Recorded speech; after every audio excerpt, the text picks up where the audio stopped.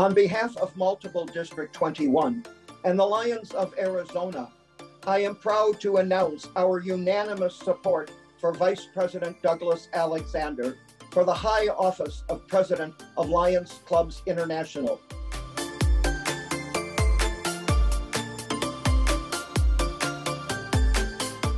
Douglas Alexander is the right person at the right time to lead us forward. He is polished enough to relate to world leaders, yet he is humble enough to effectively communicate with grassroots Lions. Lion Doug is a retired successful banker. His business knowledge and his savvy will be critical as Lions Clubs International faces some very difficult financial decisions.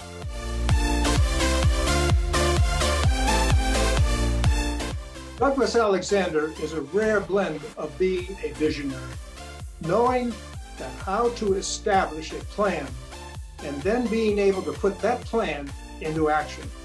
Douglas Alexander is a true humanitarian. He has the heart of a lion. His energy, drive, and compassion will help us further our service causes in our communities for people in need. I had a chance to work with Vice President Doug Alexander at the recently concluded LCIF telethon. We raised way more money than anyone expected, and this was because of the way he led the team. He is focused, organized, and has a way of bringing out the best in others for best results.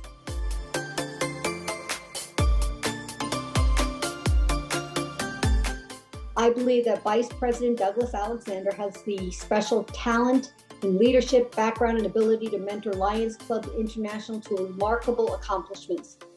I can really relate to Vice President Douglas Alexander. He believes, as I do, that our success as Lions depends upon us successfully meeting the needs of our local community while also addressing the world issues. Vice President Doug Alexander has a special charisma about him. I can feel it when I listen to him or see his presentation. When he talks, people listen. Doug Alexander is the leader we need to pull us out from this pandemic and move forward. Arizona rolls with Doug Alexander.